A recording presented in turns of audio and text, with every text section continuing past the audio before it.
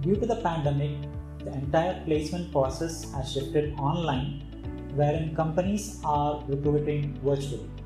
A good number of students have already taken written tests and completed online interviews with our placement clients. The release of offer letter, employee onboarding, as well as work assignments continue to happen virtually. Hence, you will be able to work from anywhere. Having said that, if there are changes to the pandemic situation, then companies might switch to face to face interviews. In that case, you'll have to travel to the client location to attend the interviews. Students of Emertxe's online courses can start applying for placements around third month of enrollment. You will need to qualify in the placement eligibility test post completion of foundational programming modules.